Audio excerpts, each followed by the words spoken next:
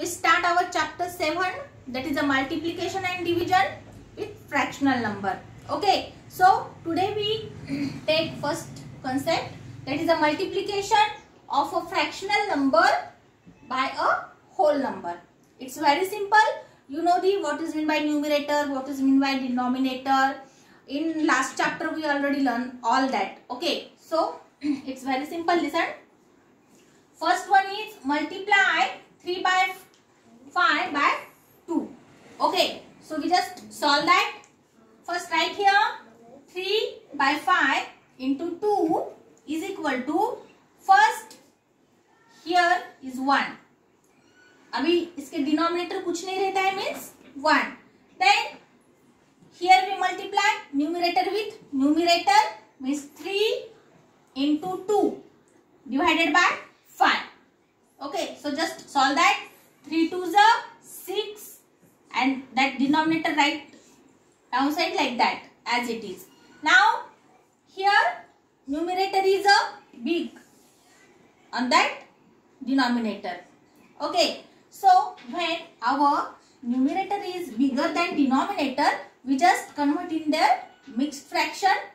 Okay. So just convert in mixed fraction 5 ones are 5 plus 1 6 so write down here 5 ones are 5 plus 1 6. So our answer is 1 of 1 by 5. Understand? You know all that examples we already learned in last chapter. Our second example is 11 by 4 by 9. Okay. So just solve that. 11 multiply 4 by 9. Again we just multiply first numerator with numerator denominator with denominator. So 11 into 4. 11 into 4 and in denominator place there is a 9. Okay. So just multiply that 11 4 is a 44 and write down that denominator 9 like that as it is. Okay. So here also that numerator is bigger than denominator. So again we just convert in that mixed fraction. How?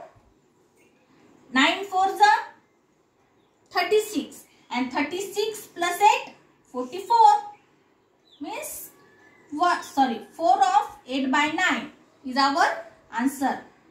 4 of 8 by 9 understand?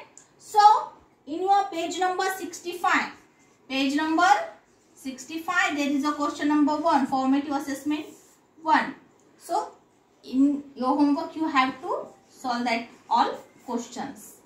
Okay